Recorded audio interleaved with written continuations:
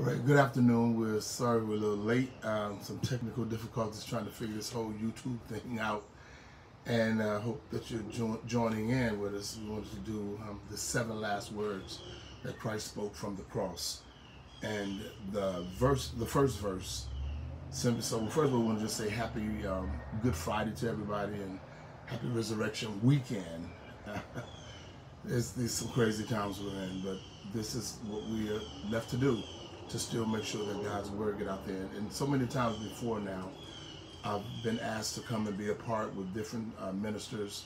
What we do, the seven last words, and each minister will have one of those uh, seven words to expound on.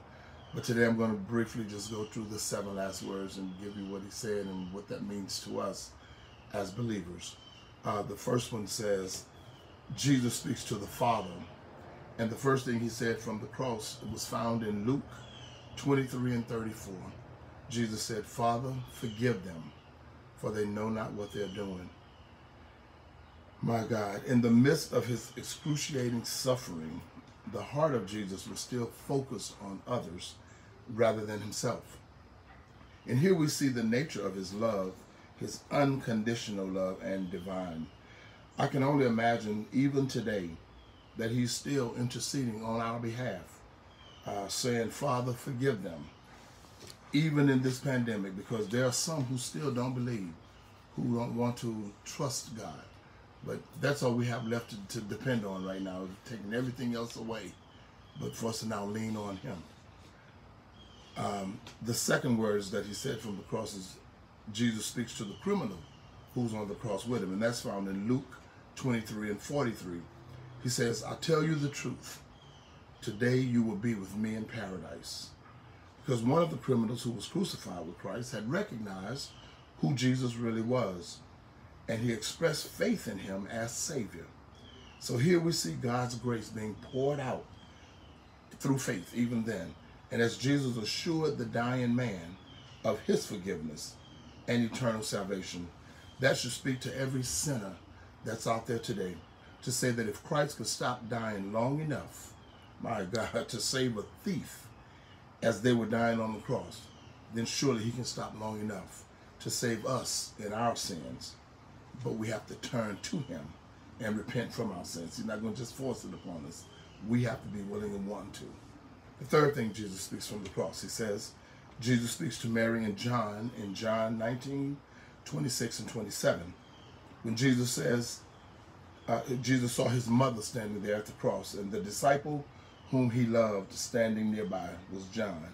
And he said to his mother, he said, Dear woman, here is your son. And to the disciple he said, Here is your mother. The NIV says it like this Jesus looking down from the cross was still filled with concerns of a son for the earthly needs of his mother. And none of his brothers were there to care for her. So he gave this task to the Apostle John. And here we clearly see Christ's humanity. He shares and shows that same humanity to each and every one of us today.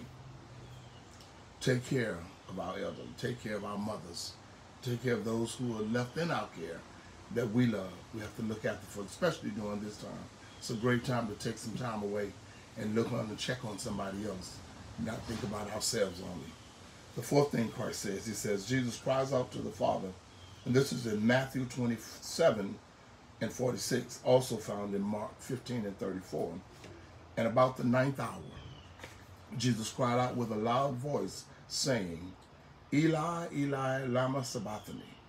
That means, my God, my God, why have you forsaken me?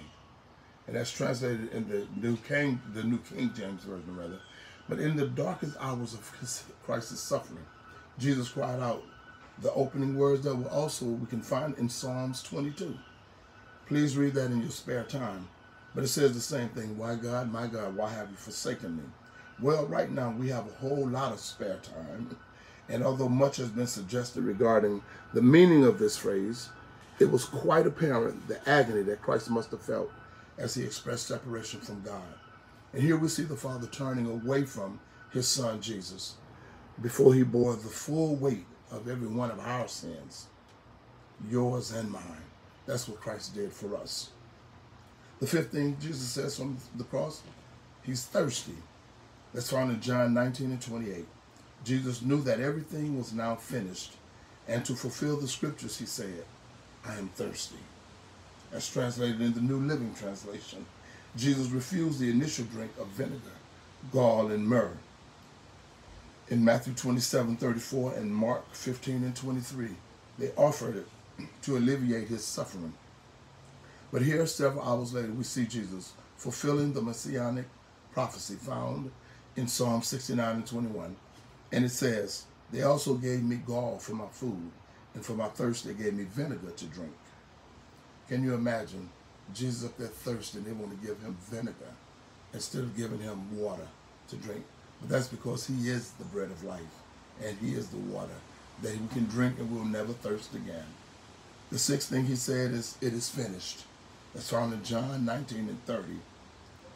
Jesus knew that he was suffering the crucifixion for a purpose. And earlier he had said in John 10 and 18 of his life, he says, No one takes it from me, but I lay it down on my own accord. He says, I have the authority to lay it down, and I also have the authority to take it up again. This command I received from my Father. And these three words were packed with meaning for what, what was finished here was not only Christ's earthly life, not only his sufferings and dying, not only the payment for sin and the redemption of the world, but the very reason and the purpose he came to to earth to was finished. That, that's what happened. The reason he was on earth at that moment when he said it's finished, he knew that what he came here to do, it was finished. His final act of obedience was complete. The scriptures had been fulfilled. And so now we're left with the seventh word, the last thing Jesus says from the cross. And that's found in Luke 23 and 46. Jesus called out with a loud voice, saying, Father, into your hands I commit my spirit. When he had said this, he breathed his last breath. Here Jesus closes with the words of Psalm 31 and 5.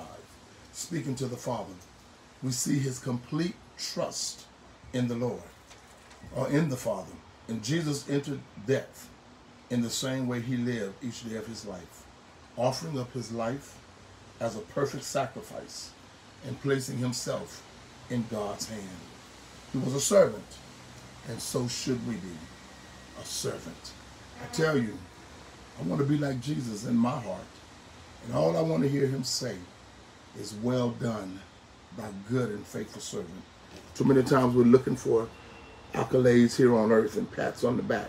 But how many of you really know that the best thing to do and to be is to be a servant? That's the true mark of being like Jesus. I'd like to take just a minute to pray with you right now as we continue on and go into this rest of our resurrection weekend. We ask that you would join us again Sunday morning at 10:15, where we'll be back on YouTube sharing the word of God to lift somebody's spirits during these crazy times. Let's pray. Father, we come right now, Lord, just to say thank you for everything you've done, for all that you're doing in our lives. God, we ask that you continue to bless us and keep us. Lord, we know that right now we have nothing else we can depend on but you.